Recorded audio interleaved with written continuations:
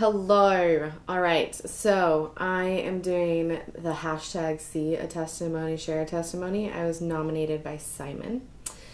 Um, and the testimony that I want to share today. Well, first of all, I'm really excited about the the fact that we're doing this because I think that it's um, really important to share the good things that God is doing in our lives because it not only builds us up by hearing back the things that God has done for us, but also can be an encouragement to those around us. So I hope you guys will take a part.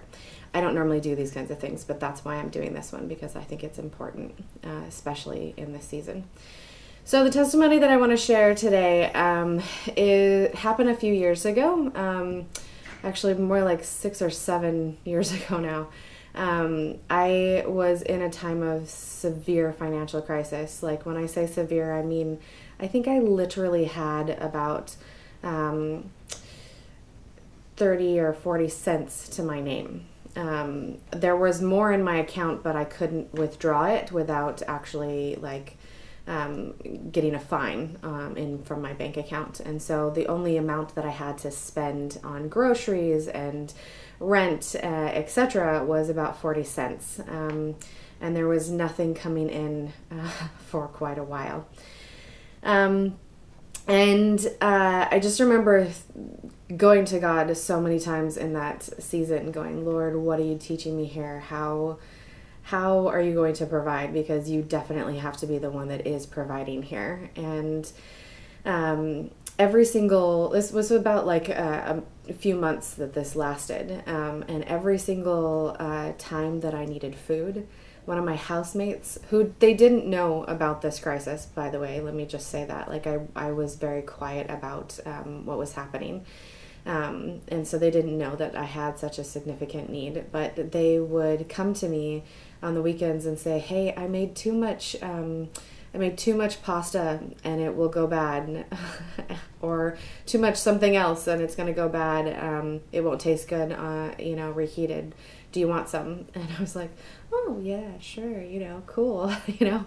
Um, and inside, I'm like, oh my gosh, thank you, Lord. Like, you're providing in a way that I didn't expect. Like, I'm thinking, you know, growing up as a missionary kid, that you're going to provide the finances that I need. And uh, instead of just the finances, you're providing the actual need. Like you're you're skipping a step and just going straight to the actual heart need, which is uh, to see that He a God of provision in all ways. Um, and then um, uh, that would just continue to happen like so much. Um, and then about I think a month and a half into this, uh, my pastor gave um, uh, a sermon about the woman who gave two pennies um, and how her gift was more uh, significant than the rich man who gave two sacks of gold.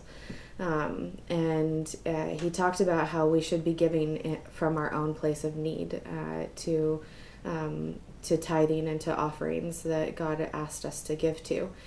Um, and so, as the the offering plate was going around, I felt a very strong word of the Lord that He told me to give um, the 30 some cents that I had.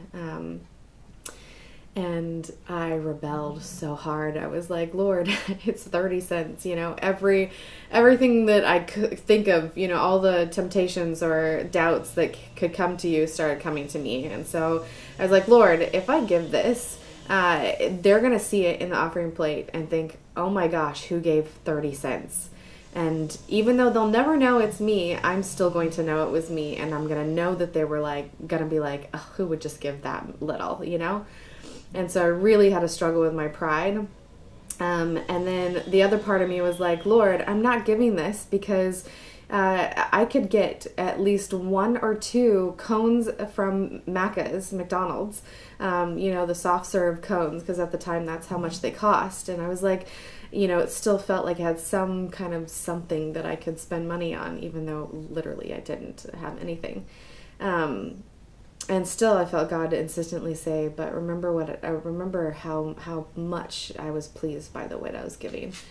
Um, and so I was like, okay, you know, I humbled myself, dug into my purse, and grabbed the two coins out of it and put it in the offering plate and passed it on and just went, okay, Lord, I am completely at your mercy now. There is no no security left, um, even though the security I had was pretty small.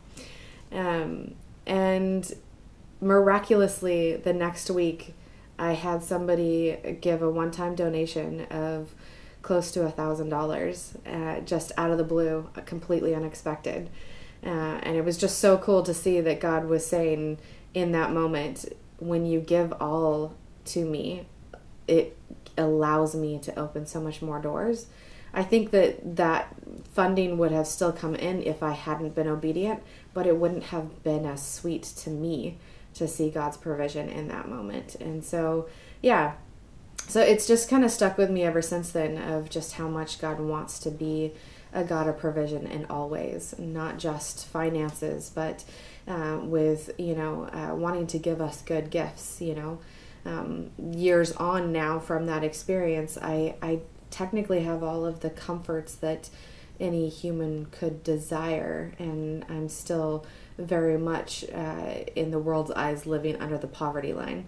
Um, but I have every need met for me, which, when you consider what a gift that is, that I've got a roof over my head, you know, friends uh, right next to me, um, and all the amenities that I could want, uh, everything is right here. It's all been provided.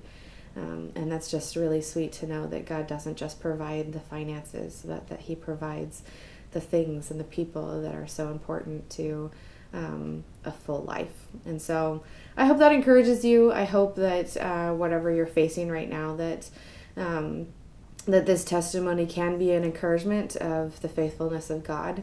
And so, um, yeah, because I said I don't normally do this very often.